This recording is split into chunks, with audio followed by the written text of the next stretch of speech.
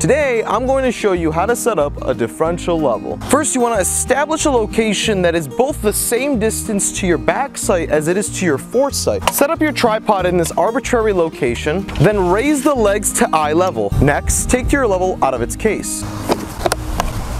Go ahead and set the level on the tripod, and then you're gonna wanna screw the level into the tripod. Step on the legs to fix the tripod to the ground. Then finally, using the screws on the level, you're gonna wanna move the bubble so that it's at the center of the circle. Tap the top to make sure nothing moves, and you're all set. And that's it. That's how you set up a differential level.